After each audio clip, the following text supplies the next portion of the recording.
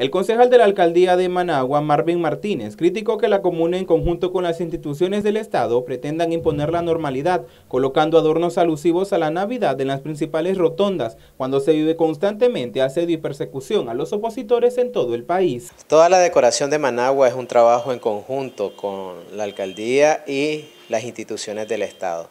Las instituciones del Estado ponen todo lo que son las luces, los adornos navideños, y la alcaldía lo que presta son a sus funcionarios, al personal para las instalaciones.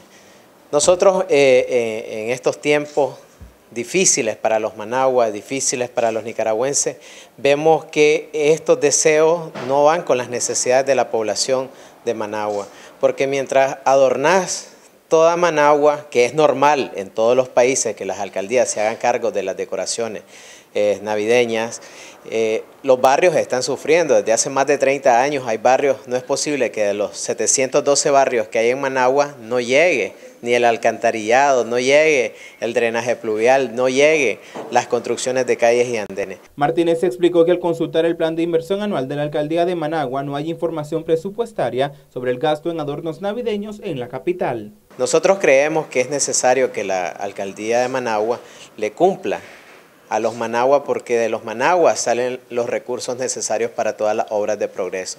Pero se enfocan en obras innecesarias.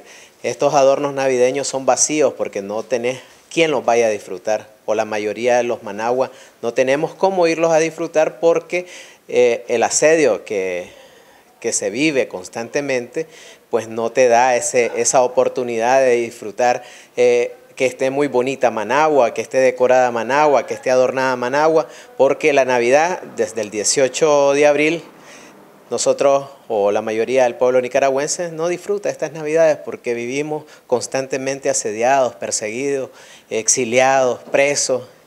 Entonces creemos que es incompatible que decoren toda Managua o todos esos adornos navideños son vacíos emocionalmente porque no hay quien los disfrute. Para Noticias 12, Wilmer Benavides.